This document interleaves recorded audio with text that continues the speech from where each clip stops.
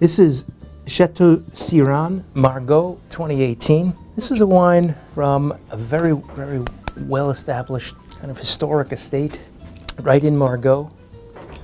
You know, the story goes that uh, they could have been included in the 1855 classification, but they had some um, political objections. So they refused to uh, be involved. But nonetheless, uh, the wine's very, very fine. Um, it's in a beautiful spot in southern Margaux with great terroir.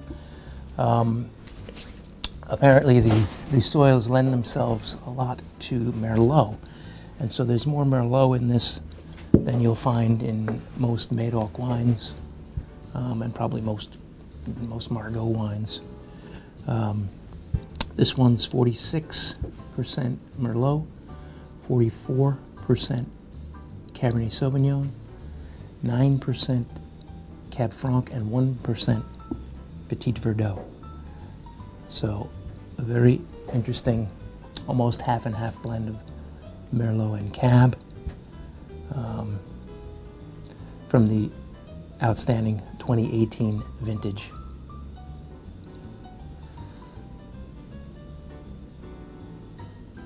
Mm.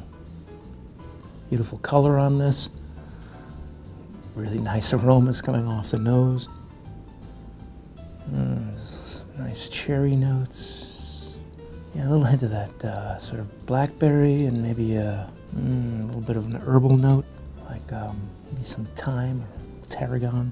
And as I'm swirling, digging deeper, I'm getting a little bit of that uh, sort of cedar box, cigar box. Hmm. Let's try it.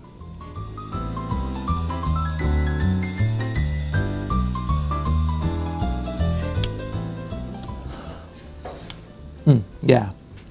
And uh, really pretty on the palate. The fruit notes really come through. Cherry. I get some nice floral notes, like, like a rose petal in here. And then I get those mineral notes, so that that um, like lead pencil, and a little bit of that cedar, maybe a little hint of tobacco in here too. Very supple, very kind of elegant on the palate. It's a nice little dose of acidity, giving it a little bit of a lift, and uh, a really nice concentration to this wine. Um, yeah, this is one that you can easily cellar for uh, five, eight, or more years and see beautiful development on.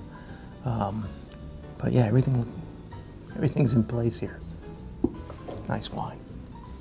Happy drinking.